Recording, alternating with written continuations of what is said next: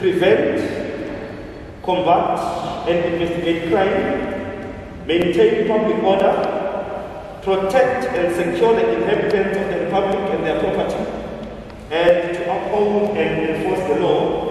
I want to state that whatever we are doing now is one of the ways that we are preventing, combating crime in our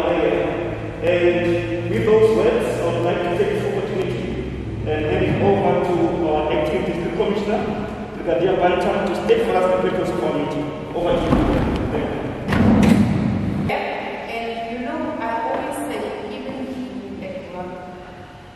uh, the, the is a warrant person, and that warrant person notices that there's a problem between the Kandahari and the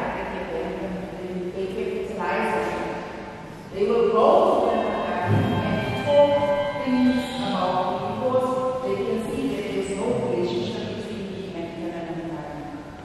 And what happens the gap gets bigger. That's exactly what happened here.